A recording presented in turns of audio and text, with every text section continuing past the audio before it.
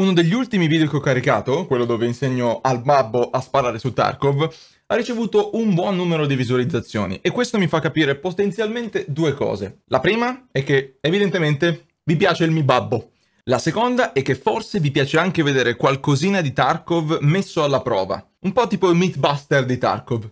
Oggi quindi mettiamo alla prova la stamina. Su tantissime piattaforme, YouTube, Twitch, Reddit, Twitter, Facebook, Discord, vedo gente che fa parte della community di Tarkov lamentarsi del suo sistema di peso, ovvero quella meccanica che fa sì che più roba si porta sulla schiena, meno il PMC sarà capace di muoversi con agilità. Il succo della lamentela è che questo sistema è troppo punitivo e basta raccogliere 4 cavolate, 20 kg sulla schiena e già non ci si muove più. E quindi ecco che nasce l'idea per questo video.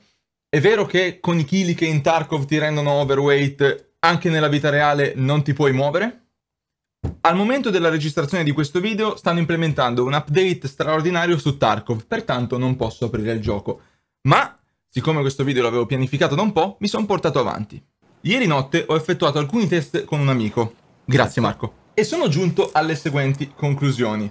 Premessa, ho compensato per le skill del mio PMC. Questo vuol dire che ho eh, ricalcolato i dati cercando di togliere o aggiungere i vari nerf e buff che le skill mi permettono di avere. Quindi i dati che vi sto per dire sono quelli di un PMC con forza 0 e stamina 0. In Escape from Tarkov un PMC con 0 kg addosso può correre per circa 110 metri con una sola barra della stamina. Per percorrere questi metri ci mette all'incirca 30 secondi per una velocità media di 13 km orari. Il tempo necessario a recuperare la stamina è 28 secondi, arrotondiamo a 30. Con 35 kg sulla schiena, il PMC percorre invece 105 metri in 25 secondi. Questo vuol dire che la barra della stamina dura di meno, ma per assurdo corre persino più veloce che senza niente sulla schiena. La velocità media infatti con 35 kg su Tarkov è 14 km e 6. Ora è importante constatare che 113-105 metri non fanno un'enorme differenza, quindi direi che la distanza non è così influenzata dal peso che si porta sulla schiena. La velocità, per assurdo, sì, e con peso sulla schiena si corre più veloci, ma ciò che cambia più di tutto è il tempo che ci si mette a eh, esaurire la stamina, perché se sono 30 secondi con, eh, senza carico addosso diventano 25 con la schiena pesante. Ora, per testare questa meccanica ho fatto qualcosa di assolutamente folle. Sono uscito all'aria aperta. Lo so che è incredibile. Lasciatemi dire che innanzitutto la grafica è spettacolare. Sembra veramente di essere nella vita reale, incredibile. Se aggiungiamo i suoni degli scav... Mi sento a casa. Cavolate a parte, siamo qui per vedere se il sistema di Tarkov di corsa, peso, inerzia, eccetera, è abbastanza verosimile, abbastanza simile a quello che potrebbe essere la realtà. Ora, premessa, l'ultima volta che ho fatto attività fisica Obama era presidente, quindi d'accordo, non sono preparato come un PMC, non ho la preparazione fisica di un PMC, ma non è questo che conta, perché comunque penso che sia un riferimento importante che qualcuno ci provi, vero? Non, non ho la preparazione di un PMC, ma ne terremo conto. Ora, per evitare di farci male, prima di fare il nostro test, faccio giusto un giretto di corsa del parco per riscaldarmi, giusto per non finire all'ospedale per un video su internet. Benissimo, ora che sono sudato a schifo, questo rettilineo è all'incirca 100 metri. Se non ci credete, ecco la mappa dall'alto. 100 metri è anche all'incirca la strada che percorre un PMC in circa 30 secondi consumando tutta la barra della stamina. Per recuperare la stamina ci vanno circa 30 secondi di nuovo. Quindi il piano adesso è questo. Facciamo 100 metri di corsa in 30 secondi che è la stessa velocità che ha un PMC. 30 secondi di recupero dall'altra parte e 100 metri a tornare indietro e vediamo se sono ancora vivo.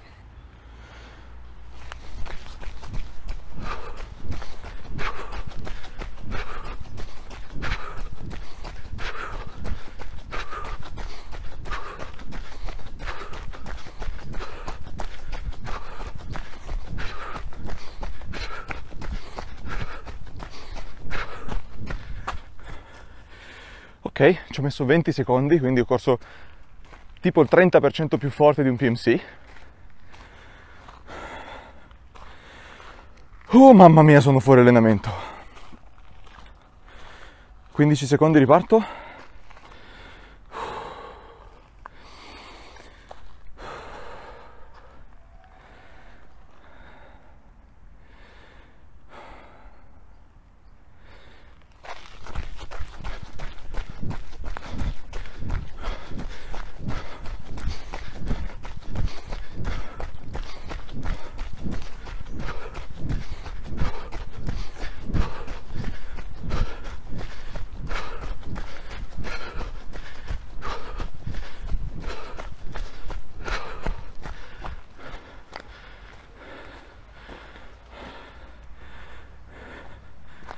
Dunque abbiamo imparato delle cose importanti. Primo, non sono morto. Secondo, persino io con pochissimo allenamento riesco a correre molto più forte di un PMC, quindi al massimo possiamo lamentarci del fatto che su Tarkov i PMC corrono poco. Riguardo al recupero della stamina invece, devo dire che 30 secondi, come avete potuto vedere dalla clip, effettivamente mi hanno permesso di ehm, smettere di respirare pesante. Quindi forse finora abbiamo scoperto che la cosa poco realistica è la velocità a cui si corre, ma al recupero e anche la lunghezza dello scatto ci stanno.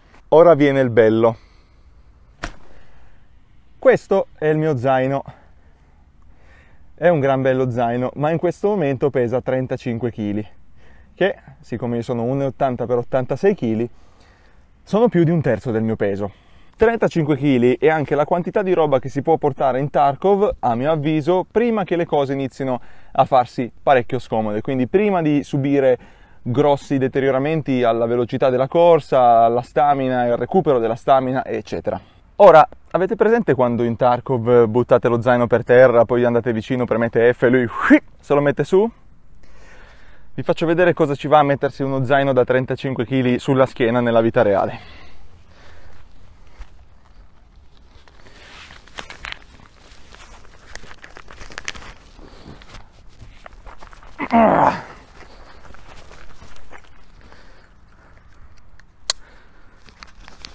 Stonks. E se posso mi permetto anche di farvi notare la mia postura.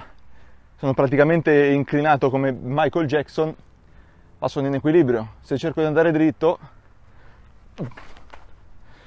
ho gli addominali in fiamme. Quindi... Ah. Temo che abbiate una mezza idea di quello che sta per succedere, vero? 100 metri, 30 secondi, 30 secondi di recupero, 100 metri indietro, vi ho voluto bene.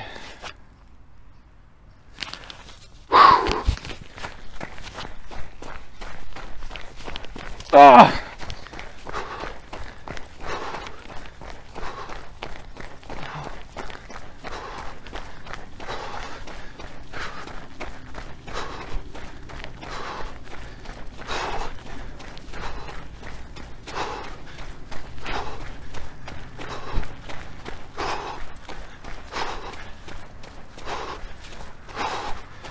Ah, 30 secondi giusti. Mio Dio, Nikita, maledetto.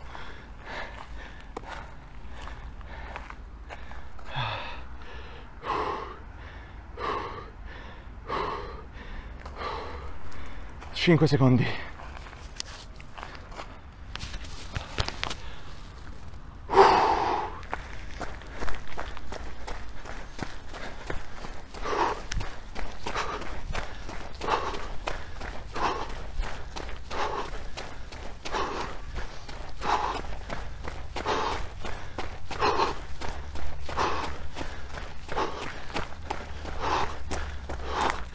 No ragazzi, mi ammazzo. Oh. No, no, no, no. No. Ah.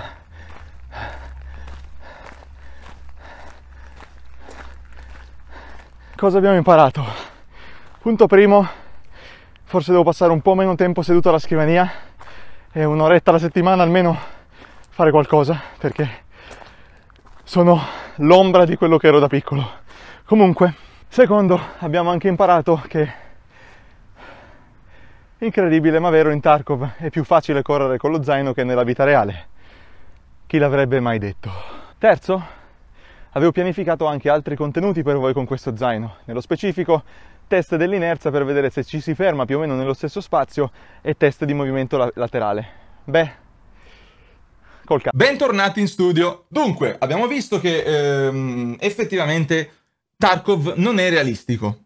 Nel senso che il PMC è molto più prestante di una persona reale, o meglio, una persona reale con zero allenamento. Quindi, è- se proprio vogliamo tirare la corda, possiamo dire che è plausibile pensare che appunto eh, un militare o comunque un paramilitare addestrato riesca a portare i chili che ho fatto fatica a portare io più o meno con le tempistiche di Tarkov. Sicuramente con qualche, allena- con qualche allenamento, con un po' di allenamento, dovrei essere in grado di fare i 200 metri avanti e indietro con lo zaino e magari di eh, accelerare leggermente il mio passo.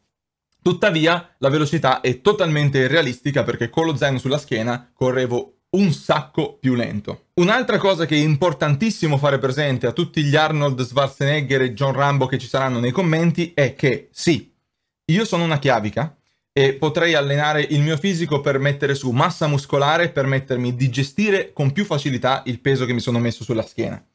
Ma quello che non posso allenare sono le mie ossa. Con questo voglio dire che il peso, l'effetto che ha sul mio corpo lo zaino è lo stesso che io sia quello che sono adesso o un bodybuilder. Per cui eh, non penso che uno riesca a saltare rimanendo eh, in salute, diciamo, senza danneggiare gravemente il proprio corpo.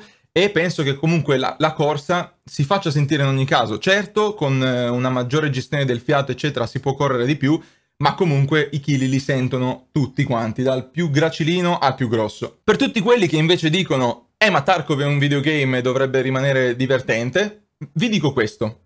Punto primo. È vero che Tarkov è un videogame, ma il suo divertimento, ciò che lo rende divertente, è il fatto che tende a essere realistico, cerca di dare un'esperienza realistica al giocatore. Punto 2. Vi assicuro che Tarkov è già molto generoso in diversi aspetti. Ad esempio, quello che potete mettere nello zaino. Permettetemi di farvi un esempio. Questo è il mio zaino, è lo zaino che ho usato nel video. Come dimensioni è praticamente identico all'F5 di Tarkov, 3-zip, eh, insomma quella famiglia di zaini lì, che in Tarkov sono 6 per 5 slot. Questo vuol dire che posso tranquillamente farci entrare una VS in verticale che occupa 4 per 3 slot, ho ancora due slot sotto e due slot in verticale. In quei due slot in verticale potrei per esempio mettere un M700 in verticale. E in quei 3x2 slot che mi avanzano in fondo potrei per esempio mettere un elmetto. Beh, armi in casa, per via del canale YouTube delle armi, ne ho. E facevo anche soft air, quindi ho un pochino di abbigliamento. Vado a prendere due cosette. Questo è un giubbetto tattico che assomiglia più o meno a una VS, insomma, una CPC, roba del genere. TV110, quella roba lì. Proviamo a metterlo nello zaino. Ok, ci sta, ma occupa interamente il mio zaino. Mettiamoci un Salewa dentro anche. E già, non è proprio due slot per uno nella vita reale. Un elmetto? MiG 2001, come quelli che vende Peacekeeper. E lo zaino non si chiude più. Ah, devo ancora mettere l'M700. Ora vi sto sfocando l'immagine ovviamente per eh, fare felici i signori di YouTube, ma ditemi in quale mondo questo può stare completamente racchiuso all'interno di questo zaino. Quindi in sintesi, Tarkov sta già semplificando diversi aspetti della meccanica del trasporto degli oggetti. Basta piangere. Se avete apprezzato la mia dedizione al mondo di Escape from Tarkov, vi prego di premere il bottone subscribe. Non è difficile, basta prendere il mouse, ah, spostarlo in basso dove c'è il pulsantino, che dovrebbe essere più o meno qui, clic, e siete iscritti. Se volete supportarmi economicamente, potete farlo acquistando una delle mie massellissime magliette che vendo nel mio shop di Amazon, di cui trovate il link in descrizione. Noi ci vediamo al prossimo video e questa sera, lunedì, su Twitch con Inox. Au revoir!